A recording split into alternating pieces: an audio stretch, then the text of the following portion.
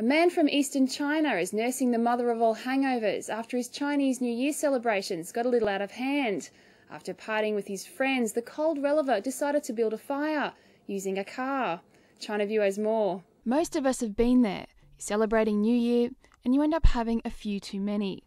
But this reveller has had more than just a few too many.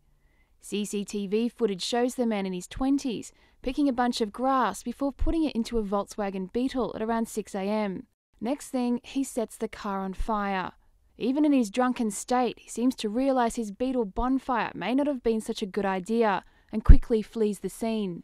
Hours later, police from Nanjing in eastern China arrested the man at his house. Still hungover, it's been reported he had no idea of the extent of his New Year's festivities. After sobering up, he told officers he thought burning a car would keep him warm, and he left after the fire became too big because he got too hot. Police have charged the man with arson.